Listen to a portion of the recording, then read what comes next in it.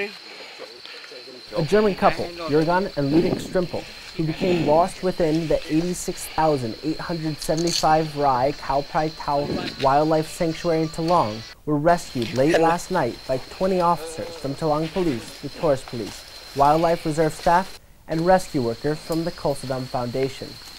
The hours-long search was hampered by the dark and the fact that mobile communication faded in and out as the officers scoured the rainforest.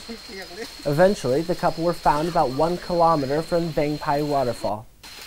Ms. Strempel had sprained her ankle and it took rescue workers another hour to carry her down from the rainforest to safety.